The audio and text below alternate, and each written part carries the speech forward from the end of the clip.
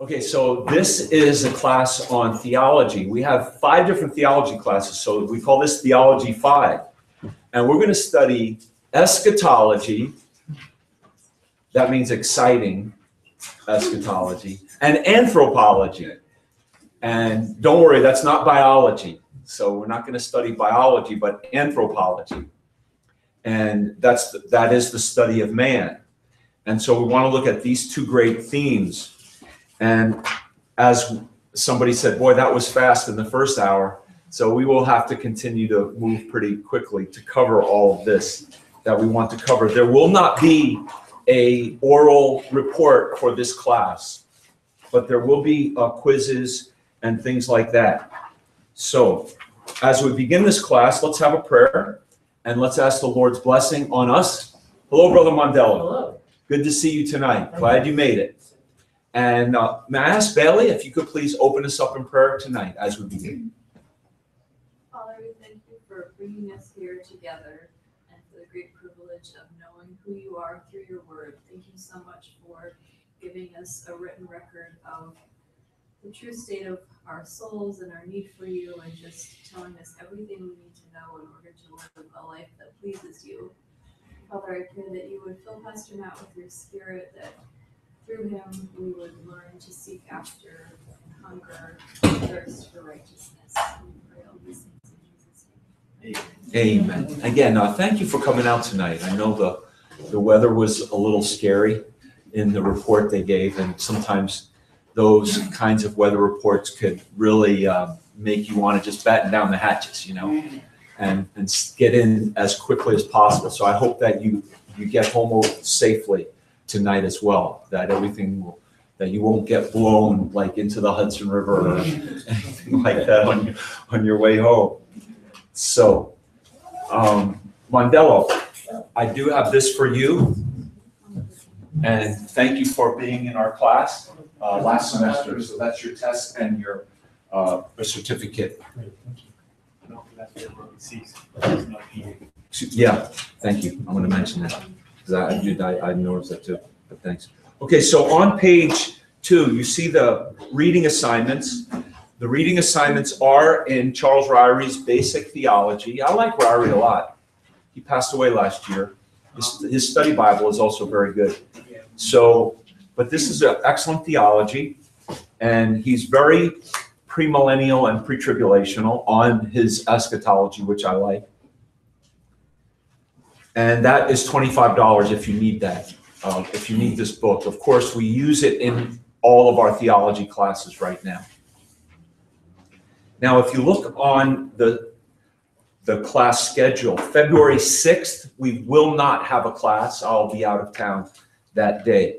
So there is no class, but there is a reading assignment. And you, you, most of the classes, it's like two chapters. The chapters are pretty brief. So, and we're going to do the eschatology part first. So, for example, page, uh, the chapter 78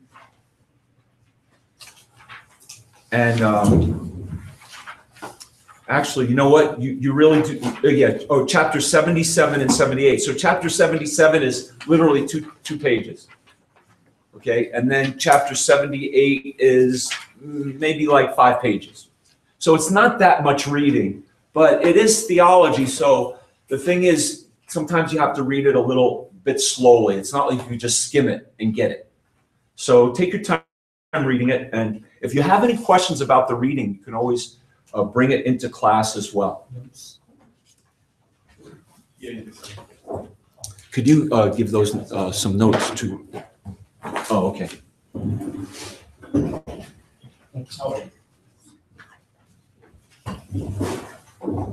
Okay, are there any questions about that?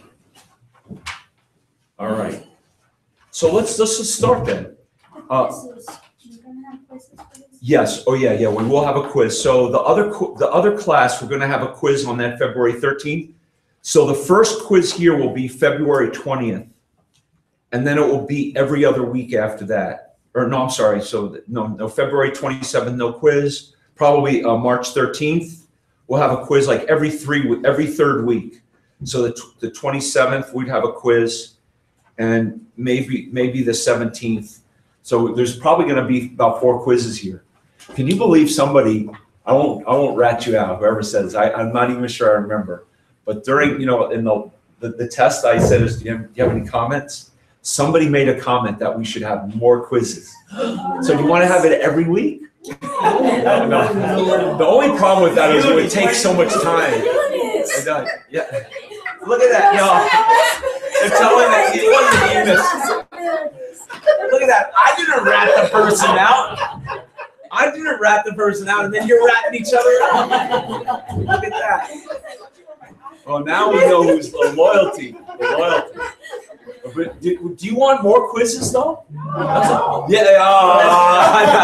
I- now I remember who said that. Did you see that?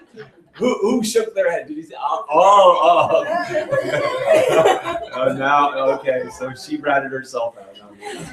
Yeah. Listen, I thought it was a good idea, but nobody said they wanted to memorize more verses or have more oral reports. Actually, No- every week will be easier when you think about it. But the thing is, it does take time, you know? Honestly, you know, the thing that I least like about the Institute is grading. Oh, that is like the hardest thing for me to actually, Huh? Let's get rid all the. yeah, yeah. Okay. So anyway, that, that will be a schedule for this. And the good thing about the quizzes though, really, is that they're, they're your best study tool. So the more quizzes, you'll know what will be on the final exam. And so you can focus on studying your quizzes as well as, you know, reading through your notes, but it's not like you have to go back and, and, uh, learn new things. Really have to really know what's on your quizzes for the final. Okay, so eschatology, eschatology, eschatos is the idea of him coming again. Future things, sometimes termed chiliasm. When you read some books on eschatology and the millennium, the millennium was called, they were, if they believed in a thousand year millennium, they were called chiliasts. So this is the study or theology of last things. What does the Bible say about the future? What does the Bible say about what's beyond this life? The intermediate state, the resurrections, the rapture, the second advent, the millennium. What about you? you have an eschat- a personal eschatology. So the idea of future events. So what should be some of the practical effects of eschatology? Do we just want to satisfy all of our curiosities? Or do we want to what? Know and love Jesus. So that's letter A. So hopefully, as we study eschatology, it will cause us to love the one who's coming again. He's coming again. And so we love him for the fact that he will come and take us to himself. He, we're his bride. He's coming for us. This, uh, I, I'm not sure I even understand this verse, but Revelation 19:10. Can we all say that verse together? Just that little phrase at the bottom of your notes. It says, "The testimony of Jesus is the spirit of prophecy." The testimony, the witness, Jesus's witness and life is it breathes prophecy of future things. You know, and so what does that really mean? The testimony of Jesus is the spirit of prophecy. Question Was his first coming prophesied? What of his first coming was prophesied? Try not to find- Yeah, everything. Almost from his birth to his death to his resurrection.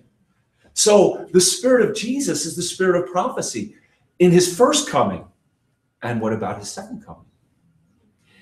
And, you know, and again, we're going to talk a lot about different views of future events and how do we interpret the Bible in reference to these future events that have not yet happened. Well, I believe we have a basis of how to interpret his second coming by the prophecies that relate to his first coming. And they were literal.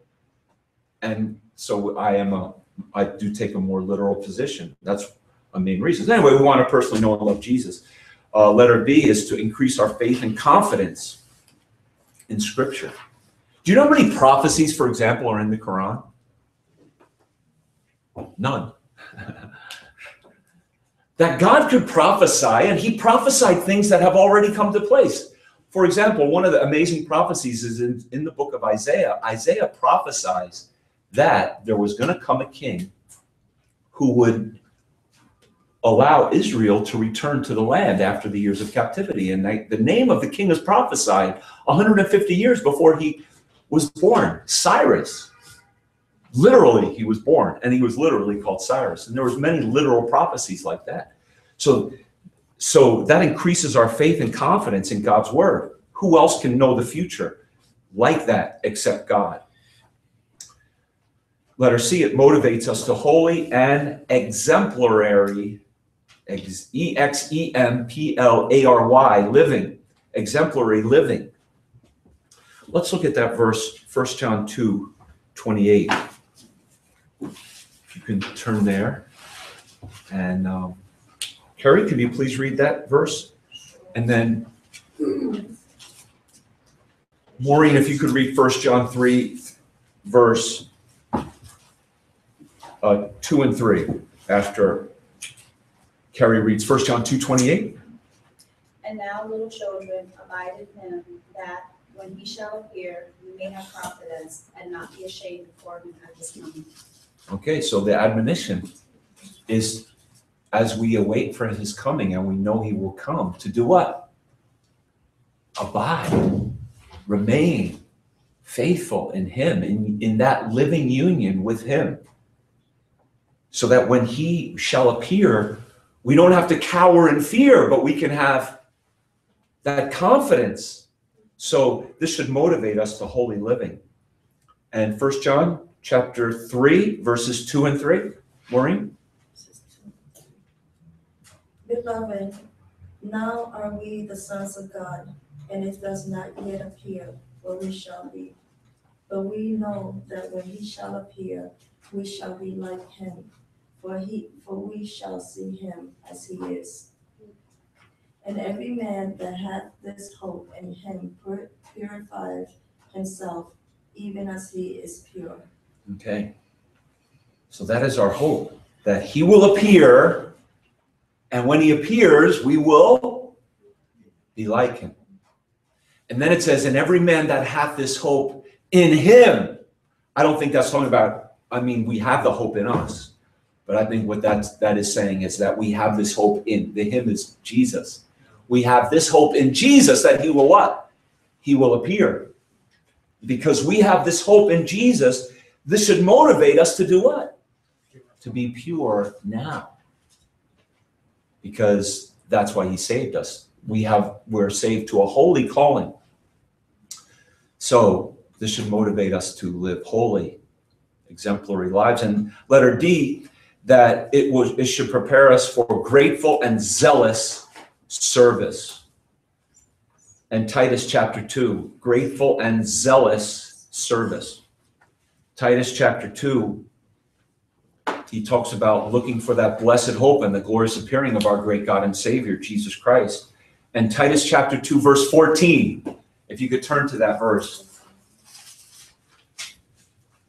So we're looking for Christ to come. And I really do just believe that he can come at any time. We'll look more at that. And there's different views on the timing of his second coming. But I believe that the New Testament atmosphere is one where the believers are living with an expectation that he can come back today. I believe that's always been God's the hope of God's people, quite frankly, because he says looking for that blessed hope and the glorious appearing. And then verse 14. So this is really the application now. Okay, so what should this do for me now? Verse 14. Who's got that? Do you have that, Mandela? Could you read Titus 2:14, please? Okay. Who gave himself for us that he might redeem us for every lawless deed and purity for himself, his own special people, um, zealous for good works. Okay. So so this should cause us to love him he, because he came once to give himself for us, and he's coming back to make us uh, to like him, to take us with him into heaven, that, that we would be pure. And it, I, I like the King James language actually, where it says, I like that word, peculiar people. But it means that we're his special possession. And that will make us different. That makes us different from the people of this world.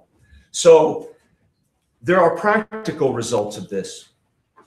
We wait for our for him from heaven. 1 Thessalonians chapter 1 verse 10. Even Jesus who delivered us from the wrath to come. So, those are some of the practical effects. Now, what are the key events? And this is kind of an outline of the book, but this is, I believe, the order of events. So, the first thing that I believe could happen at any time is what? The rapture. What will happen after the rapture? The judgment seat of Christ. Who's that for? That's the judgment of the believers, not the unsaved dead, the believers. That's a judgment of reward.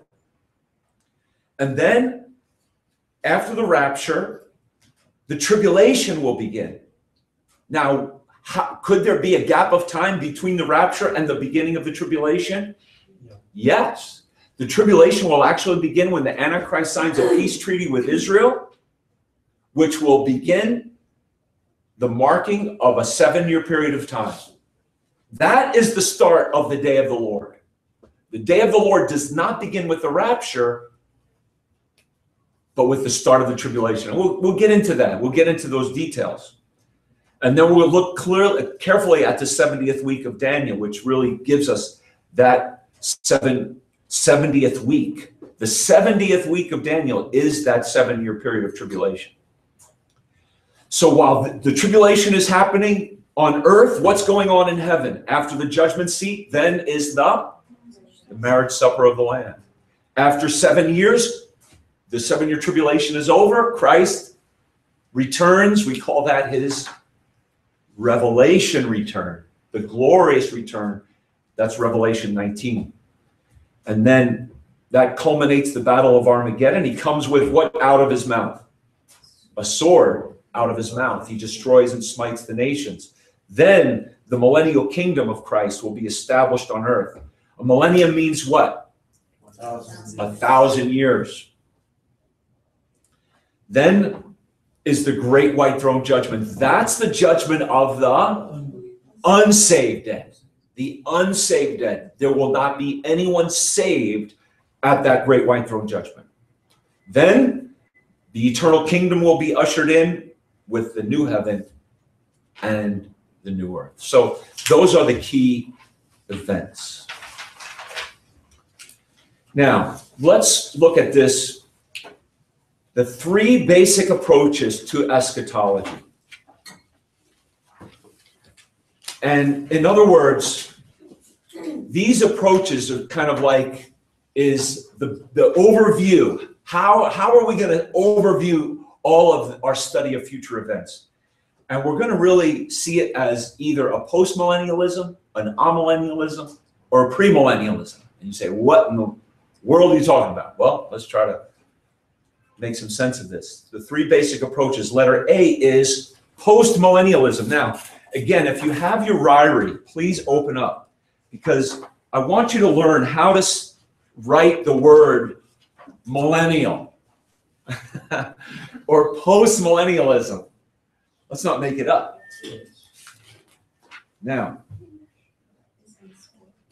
a survey, oh, so I'm on page 511 in Ryrie, a survey of post millennialism. So, how do you spell millennialism, first of all? There's two L's and two N's. Just remember it that way. So, it's M I L L E N N I A L I S M. And if you put post in front of that, that's still, we're going to just make that one word. Your, your computer might not like that. You know, it might like make it seem like you're making up a word. Well, whatever. Or amillennialism, you're going to put an A in front of millennialism, or premillennialism, you could put a pre before. But but the thing is with millennialism, it's got two L's, two N's, And there we go. Okay. So now what is post-millennialism? That post-millennialism is the teaching that Jesus returns after the millennium.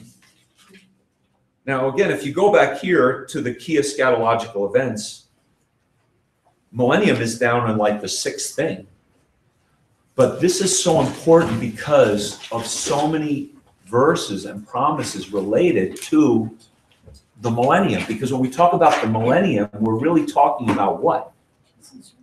The rule and reign of Christ. Or what's another word? That's what did Jesus preach? What did John the Baptist preach? They preached that what was the kingdom.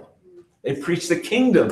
So the kingdom is a huge subject in Old and New Testament literature. And how one sees this kingdom affects a lot of how they see the Bible and how, how do we interpret it.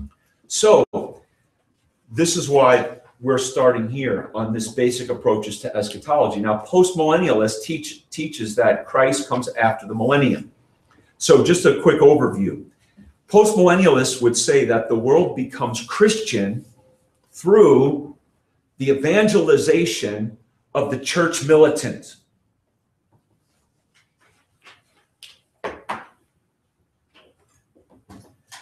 So postmillennialists will say that Christ will return at the close of a long period of righteousness and peace. Now, millennium means what? We already said a thousand. But a postmillennialist would say it doesn't necessarily, the millennium doesn't necessarily have to be a thousand years. That could be just metaphor of a long period of time. So a postmillennialist is, is not bound to a thousand years. And we're going to see that the essence of postmillennialism and even amillennialism is a more of a allegorical or symbolic interpretation. So a thousand doesn't have to be interpreted as a thousand.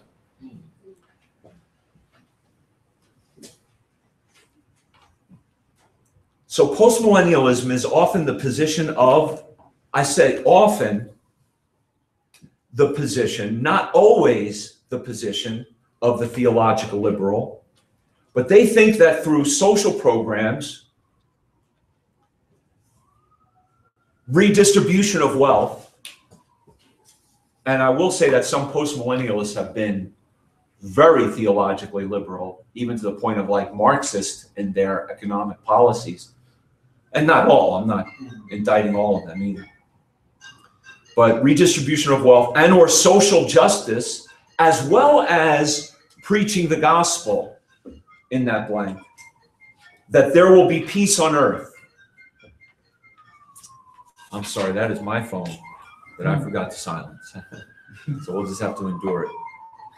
I'm sorry, say it again, as well as. As well as preaching the gospel.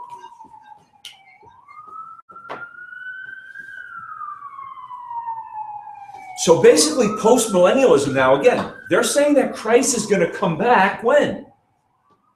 After the millennium. So what's the millennium? The kingdom. Whose kingdom?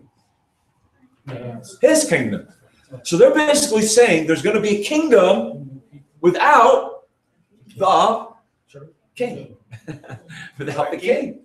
That's the next blank. There's a kingdom. Do you have a blank there? Yes. Without a king. Because he's going to come back when? After. he's not there during the kingdom. He's going to come after. Now, to me, that makes no sense, quite frankly, because without a king, you don't have a kingdom. The, the most important person in the kingdom is the king. Yes. Now, Ryrie says this on page 515, and you can mark this in your, just put, maybe put it in your notes that I'm reading this, page 515, the second paragraph down. Ryrie says that postmillennialism of the post-World War II era, okay, so after World War II, because again, postmillennialists had this very uh, positive and confident view toward human nature and toward the work of the church, that the church is going to make the world Christian. Now, how's that work? How's that working out? so they had a very, you know, a, a very optimistic view. But after World War One, which was supposed to be the end of all wars. How did that work out? Then World War II, and how many wars are we involved in even to this present day? You know. But anyway, so after World War II, postmillennialism has been more generally of the liberal variety. Because really, I think World War II did wake up a lot of postmillennialists who actually did believe the Bible and say, you know what, the church is not going to make this world a, a utopia. And uh, it's a more liberal point of view now. The great advancements of the 20th century through man's achievements gave credibility to the concept. There were scarcely any biblical, uh, there were scarcely any biblical postmillennialists except he, and he does talk about this. This is a man, by the way, Loraine. That is not a woman. Sorry, ladies. but it is a man, although it sounds like a woman, but his name is Loraine Boettner. He was a postmillennialist and he wrote, he wrote about it and, and he references him also in quotes um, from Loraine Boettner as what, what postmillennialism is. I would say the problems with postmillennialism is I, the Bible does not teach that Christ will return to a world that the church has Christianized. Even if you say, even in his glorious return, does Jesus Christ come back and everything is just perfect and pure? He comes back, as I mentioned earlier, with what? A sword to destroy the nations that were that were full of war. So when he comes back, things are not Christianized. This view might sound optimistic, and, and again, I think it's more the liberal point of view. Or maybe they will say, "Well, look at our technology," or or we're becoming more, um, you know, this or or or that, uh, more enlightened. But it's certainly not a Christian enlightenment, and the technology itself does not breed necessarily salvation and true redemption of people, right? For many, it just opens up more opportunities to sin. I don't believe the Bible teaches that Jesus is going to return to a Christianized world. Jesus seemed to indicate, and I know there's there are different ways you could take this, but you know, like when he said in Luke chapter 18, verse 8, he says, When the Son of Man cometh, will he find faith on the earth? Now, how do you take that verse? When the Son of Man cometh, will he find faith on the earth? Do you do you think he's giving the sense that, oh yes, there will be faith on the earth? Or He's questioning.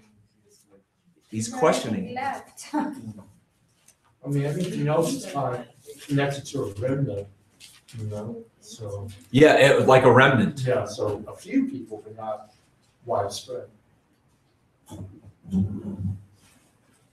Because he says in that verse, nevertheless, and, and that's a parable of, of importunate prayer, of persistence, of pleading with God, not giving up, and how God is going to avenge the- the elect. And he says, nevertheless, when the Son of Man cometh, shall he find faith on the earth? Now, I heard it also put some, somebody put that verse in a, in a sense almost like uh, you know at halftime of a football game, and the, you're you're you're losing by seven points, and so the coach gets you know, are we going to let this team beat us? You know, it's kind of like he, maybe he's saying that to motivate us. To, I mean, it does motivate us to have faith when the Son of Man cometh. Will he find faith on the earth? Well, what does that motivate you to have? Faith when he comes. I- he will from me, even if the whole world gives up faith, I will hold on to Jesus Christ. I mean, I think there is a motivation to what Jesus is saying there.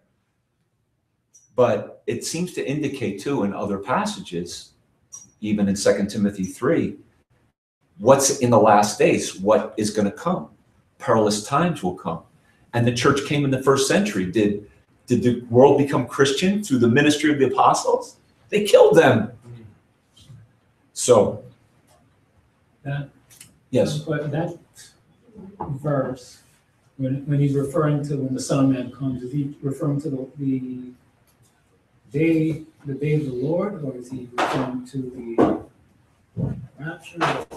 Well, I would say that he's talking about um, bringing about vengeance Hmm, okay, and righteousness and peace. Okay. So probably it's more a reference to his glorious coming, okay. but I think it's just a general statement as well. So it could relate to the rapture. I don't think it would be wrong to apply it to the rapture as well. But we we we kind of get this sense too, just from the Bible, in that you know, because as a dispensationalist, remember dispensation. Remember the dispensations. In each dispensation, there was a command given to man. But at, what what what led to the end of one dispensation and almost the opening up to a new? A failure of man in that dispensation. Like God told Adam, "Do not eat of that tree," you know? And he ate of the tree. And so that led from the dispensation of innocence to the dispensation of conscience. So the man had was to be ruled by his conscience. And then how did that work out? That led to the whole world becoming so corrupt. God did what? You know he judged it. And and then after that that led to then god saying whosoever sheddeth man's blood by him shall his blood be shed and they said well as a dispensational say that's that's the the essential uh, power of human government to to be able to take a life and make that judicial decision. So that's the dispensation of human government. And so anyway, you have these dispensations. To the last one, you have we're in just dispensation of the church age. How's it going to end? I believe with the failure of, of mankind, and that then the Lord will rapture us. And then even the dispensation of the millennium, the millennial kingdom, how's that going to end? Satan is going to be released and they're going to rebel against the visible rule of Christ. So each dispensation uh, seems to end with human failure because of still sin on the earth and the devil still prowling and, and, and roaring to destroy and deceive. And not until he is thrown into the lake of fire and that we're and the, the, the, indwelling sin is fully eradicated and we're like Jesus, you know, then there will be no more sin and no more failure. So, anyway, it sounds hopeful and optimistic, but it's not biblical. So, letter B is amillennialism. So, ah, of course, means none. So, ah, millennialism teaches there is no literal millennium. This is a very popular view today an overview. This view says, letter A, I'm going to be a little redundant here. This view says there will not be a literal rule of Christ upon earth. Okay? This view says there will not be a literal rule of Christ upon earth. They spiritualize, and we'll talk more about this, but this is important. They spiritualize or allegorize the covenant promises God made to Abraham and David. So, an millennialist, no literal millennium, they would say Christ reigns where? In the heart of the believer in this church age. And he will not reign or rule on a literal throne in Jerusalem. Now, again, why we're saying basic approach to eschatology. If you take that as your position, you have to spiritualize away literally hundreds of scripture, of scriptures. So that's why this is, I believe, a foundational way to approach eschatology. So the prophecies relating to, to the kingdom of Christ, according to the amillennialists, are spiritually being fulfilled now in either one of two ways either by the church on earth. So, right now, the church is fulfilling the, the kingdom of Christ on earth. He's, but He's with us, He's in our heart. Or B.B. Warfield, who was a Presbyterian and a strong defender of biblical inspiration and authority. When I was in school, we read B.B. Warfield on the inspiration and authority of the Bible. So he was an amillennialist, but a strong defender of biblical inspiration. Okay, so you have strong Bible believers who are amillennialists. But nevertheless, B.B. Warfield said that, that the millennium is being fulfilled now by the saints in heaven. So he said that the kingdom is the saints in heaven now are fulfilling the kingdom promises. So the kingdom promises for the amillennialists are not literally fulfilled by Israel. Now that's the big thing. And really, one of the biggest points of difference between dispensationalism, which sees a literal millennium, and a covenant theology, which is really what we're talking about here, which is no literal millennial, is what about Israel? Does God have a plan, a future program with Israel? And I'll have to say this too, you know, I'm just going to throw this out. This is recology here, okay? You take it with a grain of salt. But this is my my my take on it. That amillennialist, you can be politically more politically correct. You can kind of like throw Israel under the bus, other words. you know, but I don't believe we should throw national Israel under the bus. I'm not saying that all, everything they do is right, but I believe that that the devil hates national Israel. Just look mm. what Iran wants to do to them in half the Arab world. You know, so and God does have a plan with national Israel. I do believe that very deeply. I do. But amillennialist says he do, they don't. Amillennialist says that God does not have a future program with Israel. Sorry for my redundancy, but emphasizing the point. So that's the blank there. Israel under letter D. The key to coming to this kind of interpretation is to interpret figuratively. Amillennialists teach that the promise God made to Israel, he makes to them who believe. In other words, God has no problems with promises anymore with Israel because you know they they crucified Christ and they've sinned away. They've sinned away those promises, and they're not for Israel any longer. And so it is now the church that inherits those promises that God made to the physical seed of Abraham. We are Israel. We're spiritual Israel. The church is spiritual Israel. And there's no plan for national Israel. Okay, so that, that's essential to amillennialism. Okay, so um, just a brief history here. And he, uh, Ryrie on page 520, you might want to mark that in your in your book, uh, in your notes anyway, on page 520 he gives this little history, and I'm summarizing a little bit there from what he writes. But letter A is Origen O R I G E N, who was a heretic leader in the early uh, time of the church from 185 to 254 BC. So, what did Origen do? He stressed and popularized an allegorical, non literal method of, in, of, interpret, of interpreting the Bible and he spiritualized the future kingdom. He was a heretic. He denied foundational doctrines of the Bible by spiritualizing them away. Then, number two, or letter B there, you have Constantine, the, the Emperor Constantine, I'm talking about. What did he do? He united church and state. And it appeared like the church was triumphing. Can you imagine? the church coming out of you know almost 300 years of persecution and then constantine says enough is enough you know and he christianized the empire sounded like a great thing sounded like it, it, it was like almost the church was was gonna spread and so that gave rise to this amillennial point of view and then augustine is letter c he spiritualized the concept of the kingdom now, I'm not a big fan of Augustine, quite honestly. You could read Augustine's testimony, and he's written famous things and said things that we, we would all quote.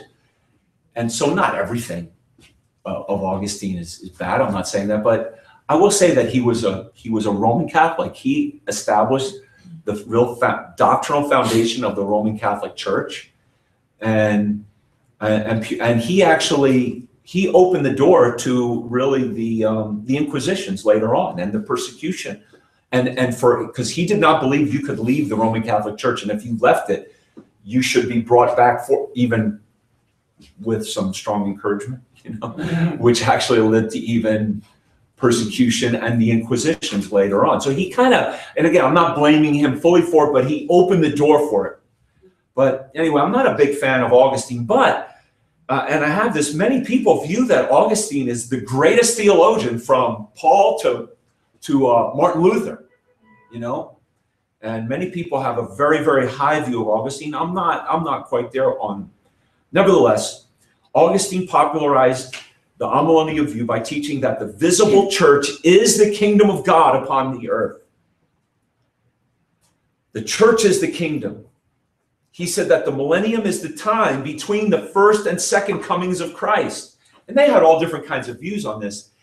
Back then, they actually believed that it would be a thousand years, but then when it went longer, then they had to readjust their, their views. But nevertheless, he, he said that the millennium was the time, that- picture that. Christ came, went to heaven, and now is the millennium.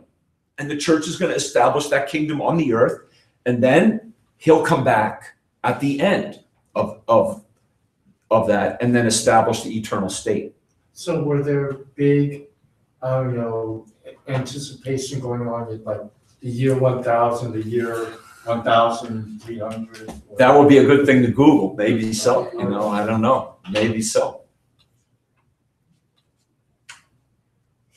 Is that the, is that the position that the Catholic Church holds?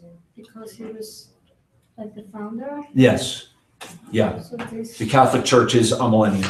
They, they, they believe there that the Catholic Church is the kingdom on earth. A political and a religious kingdom. That's why the Pope holds up two fingers. That's why he kisses the ground, because he does believe that he's the political and the spiritual ruler, rightfully, of the world.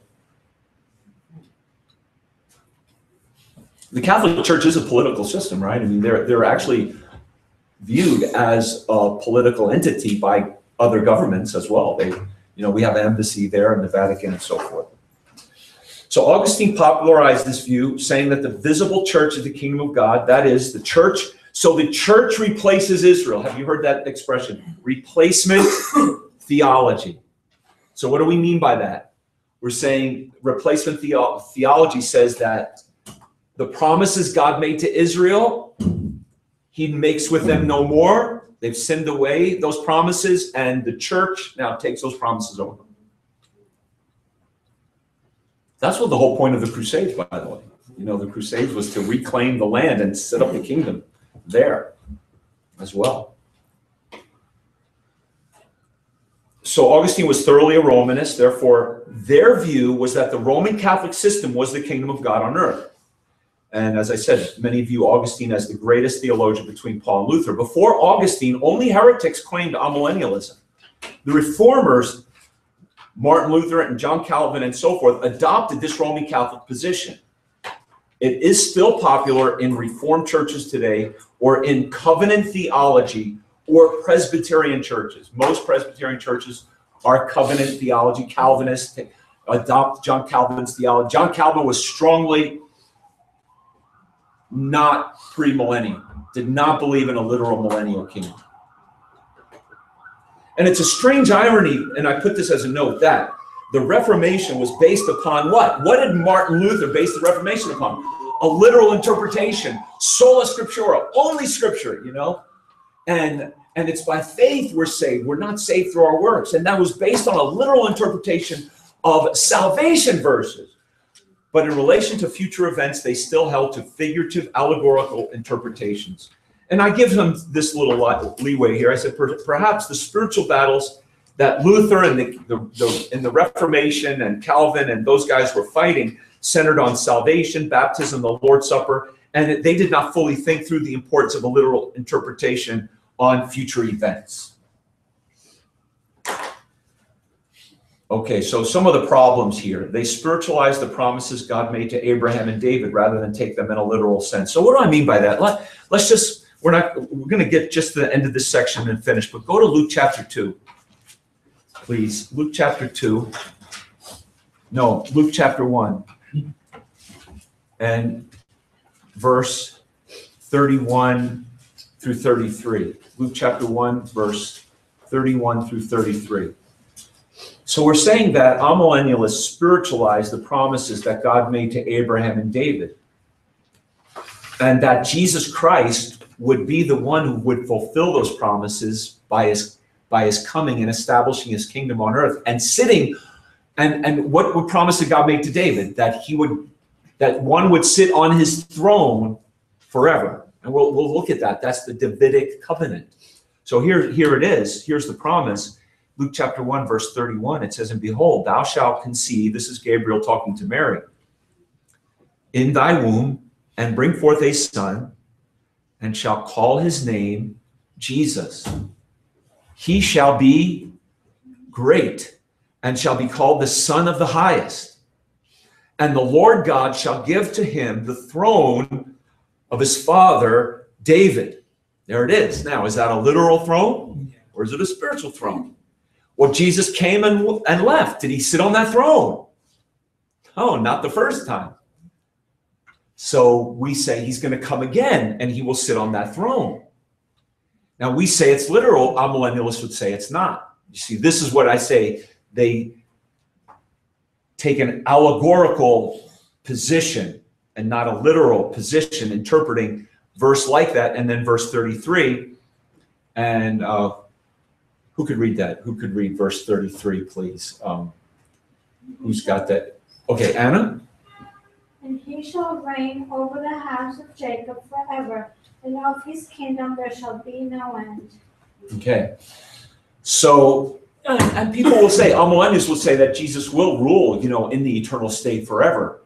But we also believe, and we'll, we'll look at these verses, that there has to be an earthly element to his kingdom. And that's what the millennium is the earthly kingdom of Christ, which is the first part of his eternal rule. But he will sit on a literal throne, a throne of David, which was an earthly throne. That's what we believe.